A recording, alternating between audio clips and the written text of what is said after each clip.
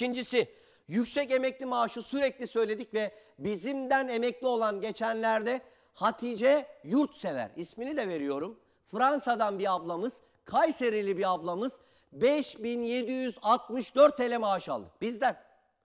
Allah razı olsun dedi. Biz de ona teşekkür ediyoruz. Bize bolca pastırma yollamış. Allah ondan razı olsun. Ee, ve halen de yiyoruz. Eşimin de Ebru Nacar hanımefendinin de Hatice Yurtsever ablamıza selamlarını iletiyoruz. Şimdi yüksek emekli maaşı demek ki alınabiliyor.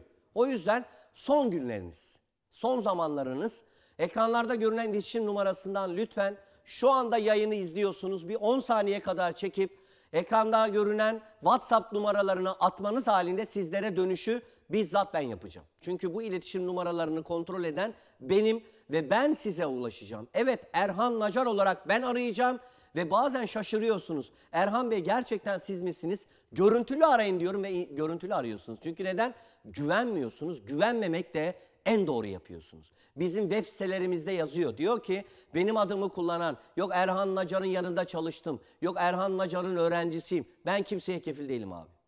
Ben bir tek kendime kefilim. Kusura bakmayın.